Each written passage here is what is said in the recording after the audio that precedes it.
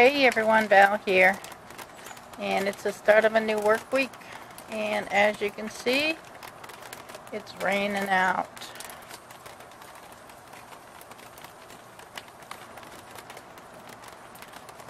Everything's wet.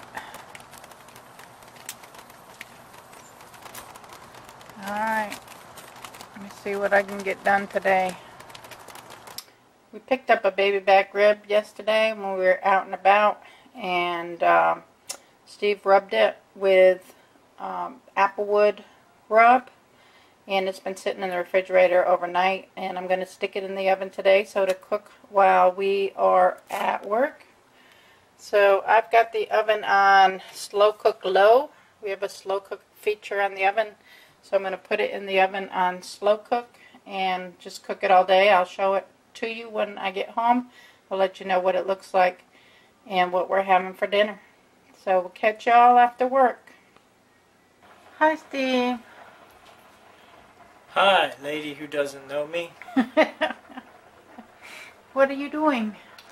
I'm making some macaroni and cheese and pork and beans to go with our, our baby back ribs,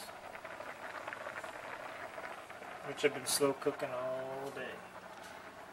All right. Are they ready, you think? I don't know. I didn't look at them. We'll check them in a few minutes. You can check. I will check them in a few minutes. Alrighty, let's check the pork.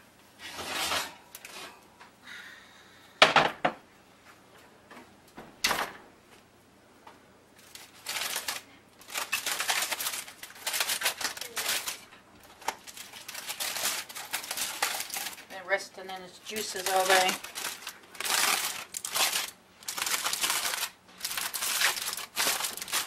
go.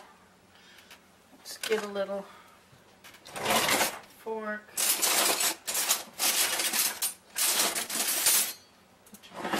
Probably going to be able to find what I'm looking for, but look how tender it is. Just comes apart.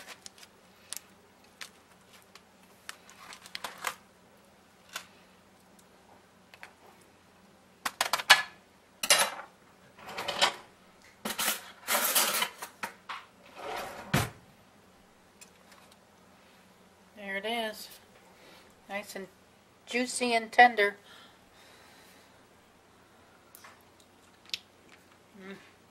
Mm. Tastes good to me. Get a little barbecue sauce throw on there. We're good to go. Alrighty. Macaroni's done. Beans are done. Get ready to do some dinner. It's good.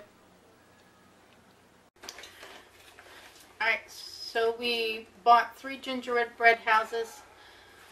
We're going to do gingerbread house making with the grandchildren tomorrow night. So um, we're going to put the gingerbread houses together tonight so it's just easier for them to decorate tomorrow. We always seem to have a problem with the houses falling apart if they haven't set. Um, so to avoid frustration, tomorrow night we're going to pre-build the houses so all they have to do is decorate tomorrow night. So I've covered the pans with aluminum foil so that they're nice and clean. And we're each going to take a house and start building. Step one, Step one. open the box.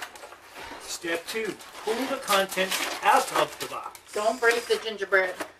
Step three, eat all the good stuff so you don't have to put it on the house. Alright. So, yeah, save all the goodies in the pan. Oh, it smells good. For best results, knead and massage the icing for one to two minutes, bringing icing to room temperature and making it more adhesive. Well, this has been at room temperature, it hasn't been outside, so it probably should be pretty fine. I don't know, mine feels cold. Does it? Mine doesn't feel cold.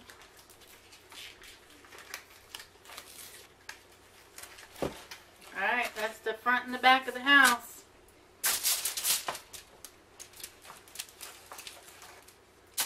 Two sides and two roofs. Oh, the roofs have little snowflakes on them. And then I'm going to get a little baggie to put the little gingerbread men in so that they can do those tomorrow.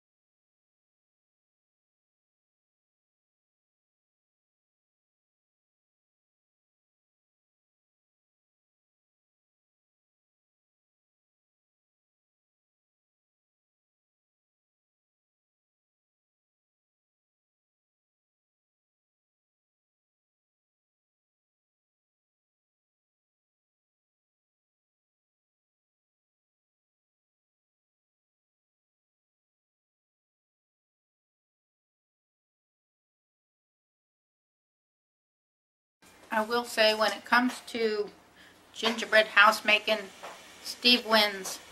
I am not very good at it at all. So Steve's finishing up the last of the gingerbread houses for us. His looks a whole lot better than mine does. This is mine. It's all lopsided and stuff, but I ain't touching it because it's got to stay together. And this is Steve's and his is all neat. Yeah, Mom said she won't move on. All right, that's fine. We got the other ones. And this is the other one that Steve's finishing. So we're going to let him sit here and get hard for the night. And then we'll have the grandkids decorate them tomorrow night and we'll take video of that for you. So thanks, Steve, for doing an awesome job putting the house together.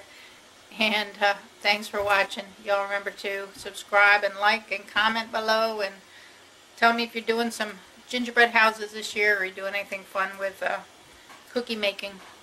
And I will see you real soon. Thanks.